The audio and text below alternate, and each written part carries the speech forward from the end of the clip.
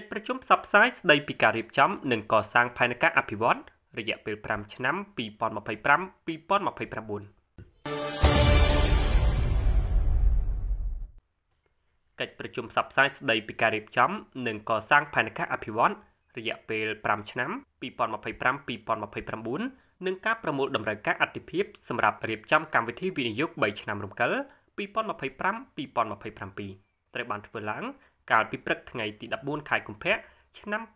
2024ក្រោមអធិបតីភាពឯកឧត្តមផាន់ចន្ទរាសមាជិកក្រុមប្រឹក្សាខេត្តនិងលោកអមសុភាអភិបាលរងខេត្តកំពង់ឆ្នាំងលោកដឹមដនប្រធានមន្ត្រីផែនការខេត្តកំពង់ឆ្នាំង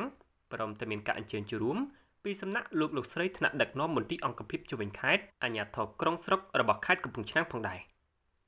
លោកអមសុភាអភិបាលរងខេត្តកំពង់ឆ្នាំងបានមានប្រសាសន៍បញ្ជាក់ថាកិច្ចប្រជុំនេះ ធ្វើឡើងក្នុងគោលបំណងផ្ដល់ការណែនាំសម្រាប់ធ្វើឲ្យប្រសើរឡើងនៅប្រព័ន្ធកិច្ចដំណើរការកសាងផែនការរបស់រដ្ឋបាលថ្នាក់ក្រោមជាតិដែលមានស្វ័យភាពក្នុងការរៀបចំផែនការក្នុងអាណត្តិក្រុមប្រឹក្សារបស់ខ្លួនរួមមានផែនការអភិវឌ្ឍខេត្តនិងកម្មវិធីវិនិយោគខេត្តរបស់វិស័យទាំងឡាយដែលប្រតិបត្តិការក្នុងដែនសមត្ថកិច្ចក្នុងគោលដៅពិនិត្យកែលម្អប្រព័ន្ធនីតិវិធីនៃការកសាងផែនការតាមចរិតលក្ខណៈផ្សេងៗគ្នា នៃប្រភេទរដ្ឋបាលថ្នាក់ក្រោមជាតិនិងណែនាំអំពីយន្តការនៃការអភិវឌ្ឍសមត្ថភាពរបស់រដ្ឋបាលថ្នាក់ក្រោមជាតិក្នុងការរៀបចំកសាងនិងអនុវត្តផែនការរបស់ខ្លួនឲ្យមានប្រសិទ្ធភាពលោកអភិបាលរងខេត្តកំពង់ឆ្នាំងបានឲ្យដឹងថា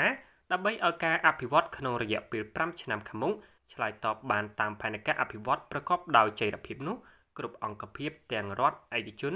និងអង្គការដៃគូត្រូវធ្វើការសិក្សានិងរៀបចំផែនការអភិវឌ្ឍរបស់ខ្លួន ឲ្យបានឆ្លើយតបទៅនឹងតម្រូវការស្ថានភាពជីវភាពរស់នៅរបស់ប្រជាពលរដ្ឋសម្ដៅធ្វើយ៉ាងណាឆ្លើយតបទៅនឹងយុទ្ធសាស្ត្របញ្ចកោណរបស់រាជរដ្ឋាភិបាលដំណាក់កាលទី1សម្ដៅចូលរួមលើកកម្ពស់កម្រិតជីវភាពរបស់ប្រជាពលរដ្ឋនៅមូលដ្ឋានឲ្យកាន់តែប្រសើរឡើង